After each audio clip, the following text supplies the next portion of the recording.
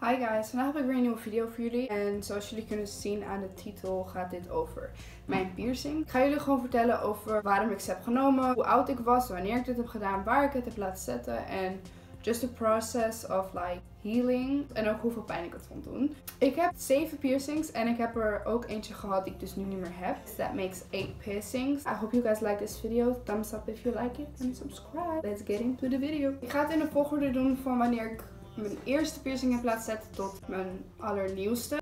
When I was like four, something like that, heb ik mijn eerste piercing genomen. En dat is niet echt een piercing te noemen. Eerste oorgaatjes. En dat zijn nu stretch holes geworden. Maar ik had dus eerst gewoon twee gaatjes.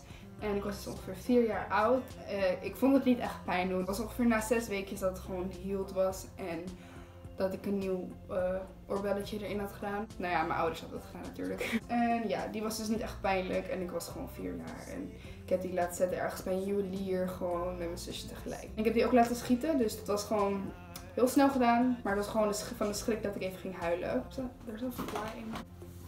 It. Dan mijn volgende piercing was mijn tweede oorgaatje. En ik heb daar nu allebei gewoon ringetjes in zitten. I'm gonna show you a close-up of course. Maar um, ik was 12 of 11 toen ik die liet zetten. Ik ging samen met een beste vriendin. Ik heb hem best wel in de heat of the moment gezet. Want het was niet een idee dat ik al langer had. Maar ik hield überhaupt wel gewoon van oorbellen en zo. En mijn vriendin was van ja, ik ga een tweede oorgaatje zetten. En toen vroeg haar moeder of ik het ook mocht, dus toen heb ik het gelijk laten zetten. Ik heb het bij Lucardi laten zetten en het is wel een beetje scheef, maar dat heb je altijd met niet echt professionele piercers. Ik heb deze twee ook laten schieten en die hielden best wel snel. Ook gewoon na zes weken heb ik volgens mij mijn eerste normale sieraadje erin gedaan en it just healed properly. Dan mijn volgende piercing.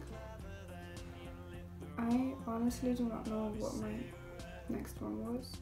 Hmm. Let me look it up. Ik wil echt de volgende klopt. Dus ik ga even kijken welke keer dat gezet. Dus daarna heb ik mijn navelpiercing laten zetten. En ik was nog niet eens een maand, was ik 12 toen ik die had laten zetten.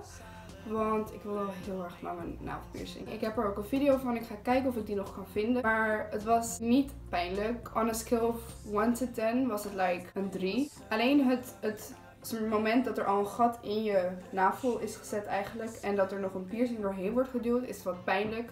Omdat het natuurlijk een net open wond is. Het duurde like een minuutje en toen zat hij erin. Het was helemaal niet pijnlijk. Het was snel gebeurd en ik was super blij. Anyhow, I've still got it. Hij was 35 euro. En ik had hem laten zetten bij Fair Square, dus in Almere. Hele goede piercing en tattoo shop. I recommend you guys to get your piercings done there. The healing progress. Ik heb volgens mij daarna twee keer gehad in een half jaar dat hij een beetje was ontstoken. Als je geen goede piercing erin doet, dus gewoon een goedkope, dan kan het nog wel sneller gaan ontsteken. Omdat het geen chirurgisch staal is. Geen goed materiaal voor je navel. Next up heb ik mijn helix piercing. En dat is een piercing die ik dus niet meer heb. Ik zal een foto inserten van toen ik hem nog wel had. Die was 25 euro. Mijn helix deed ook helemaal geen pijn. Een scale van 1 to 10 was het echt een 2. En ik had hem tegelijk laten met mijn moeder. Mijn moeder had hem na een paar maanden uitgehaald. Ze kon er gewoon niet tegen. En na een jaar heb ik besloten om die er ook uit te halen. Omdat ik gewoon, het, ze noemen het een bloemkooloor. En dat is wanneer er gewoon een soort bobbeltje erop komt. Mijn kraakbeen kan niet tegen de helix. Dus zodra er een piercing of iets in mijn kraakbeen zit, gaat het ontsteken. Je hoort het heel vaak dat kraakbeen gewoon niet tegen piercing kan. En dan moet je het ook gewoon niet proberen, want het doet gewoon heel veel pijn. Ik heb een jaar eigenlijk daarmee gelopen met een rood oor. Niet chill met slapen. Alleen ik wilde het niet zomaar eruit halen, want ja, het heeft me wel geld gekost en ik wilde die piercing gewoon heel graag houden. Op dit moment vind ik het niet heel erg dat ik hem niet meer heb. In 2015 heb ik mijn derde oorgaatje laten zetten. Het deed ook geen pijn, die heb ik voor 15 euro laten zetten bij Fair Square. Het was echt binnen een maand dat ik gewoon normale oorbelletjes erin kon doen. En ik heb zo snel mogelijk ringen erin gedaan, want ik hou heel veel van ringetjes in mijn oren. Maar ja, dat was dus echt een heel makkelijk proces van like, ervoor zorgen dat het gewoon goed geheeld is. Pain scale was like was echt een 1. Gewoon van 1 tot 10 was het een 1. Het was echt totaal niet pijnlijk. Die heb ik by the way wel laten piercen en niet laten schieten. Omdat zij niet um, schieten deden. Ze deden alleen maar piercen. En die is dus gewoon heel snel geheeld. En I still got them till the day of today. Ik heb mijn Mijn eerste neuspiercing, dus aan de linkerkant, heb ik laten zetten in 2015. Toen was ik dus ook nog steeds 12. Ik heb best wel veel piercings laten zetten toen ik al 12 was eigenlijk, nu ik erover nadenk. Maar ik hield gewoon al heel erg veel van de look en as you can clearly see, I still love them. So it wasn't a bad decision to take them. Neuspiercing was 25 euro en normaal is die dus ook 35 euro. By the way, ik heb mijn navelpiercing, mijn derde oorgaatjes, mijn helix en mijn neuspiercing dus allemaal laten zetten bij Fair Square. Gewoon een hele goede plek, dus ik ga daar gewoon standaard. Ik had hem laten zetten volgens mij op Koningsdag. Ik vond hem een beetje pijn doen. Het was like aan een schil van 1 tot 10 een 4 of een 5. Maar dat was meer omdat het sieraadje kwam er niet in toen het al was gepierst. Dus dat deed best wel heel erg veel pijn. En omdat je neusvleugel zit heel dicht bij je traanvlies. Dus je ging automatisch ook ging een beetje tranen. Die was op zich ook niet heel pijnlijk. En het hield very quick. So like I don't care.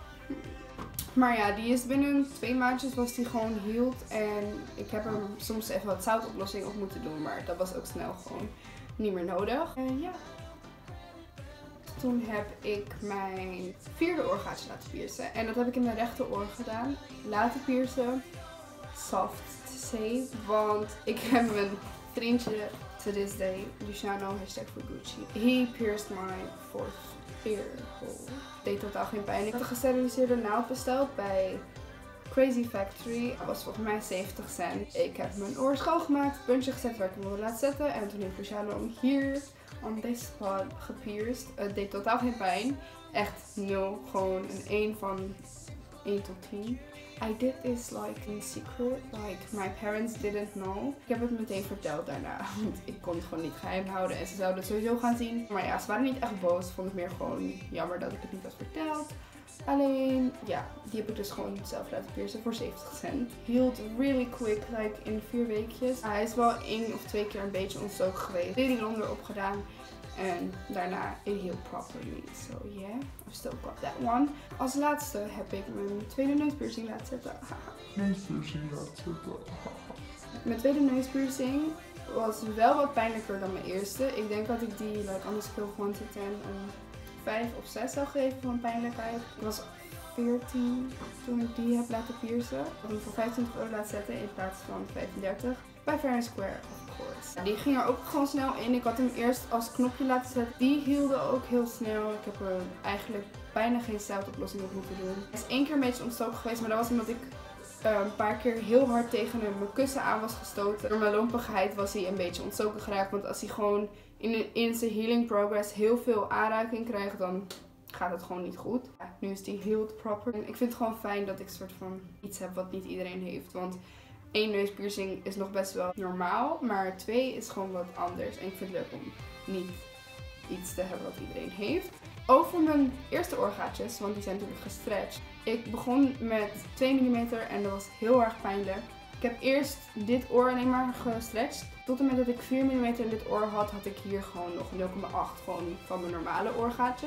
En tot deze ook op 4 mm kwam, heb ik ze tegelijk naar 5 mm gestretched. Ik moet wel zeggen dat dit oorstretchen wel een long road was vergeleken met deze. Mijn rechteroor ging heel makkelijk. Iedere keer na twee weken dat ik had gestretched was die eigenlijk al gewoon healed en it just belonged there. Maar met deze het proces van 0,8 naar 2 was heel pijnlijk. Het was heel erg ontstoken, heel vies. Just a scene you don't want to see. Het was heel nasty om te zien. Uiteindelijk heb ik hem van 2 naar 3 gestrest. En van 3 naar 4 was het minder pijnlijk, minder vies. Het was gewoon snel geheeld. En toen ben ik naar 5 mm gegaan, waar ik dus nu nog steeds ben. Ik zou ooit nog wel eigenlijk naar 8 willen. Maar mijn ouders won't let me, which I kind of get. Want ik ben al best wel gewoon vol met piercings. En als je groter gaat dan 5 mm, dan heb je minder de kans dat het teruggroeit naar je normale size van je oorgaatje. En ik wil later niet hangende oorlellen. Um, yeah, that was all about my piercings, I guess. I hope you guys liked the video. And als jullie nog vragen hebben voor me, just leave them down below. I'm gonna come back soon with some more videos. Love you guys. Bye bye.